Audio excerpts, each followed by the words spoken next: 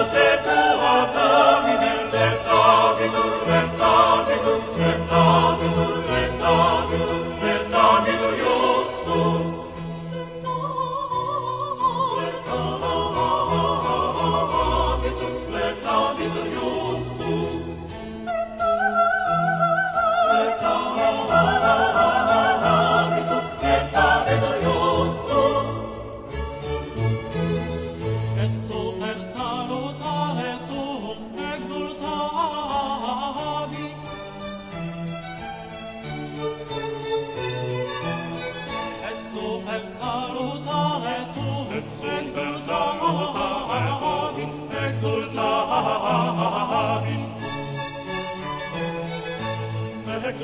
Exultabit vehemente, exultabit, exultabit vehemente.